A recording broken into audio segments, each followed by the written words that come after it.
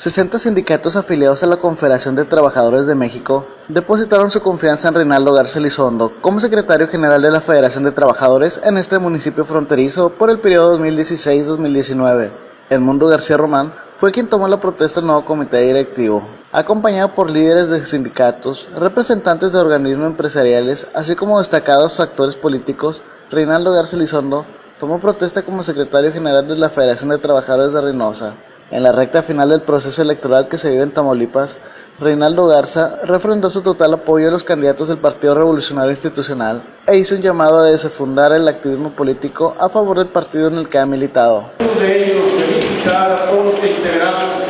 la Comisión Consultiva Regional de Infonavit. Aquí en Reynosa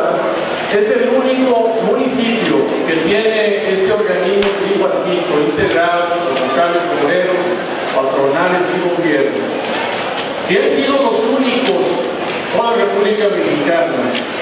que han ido a entregar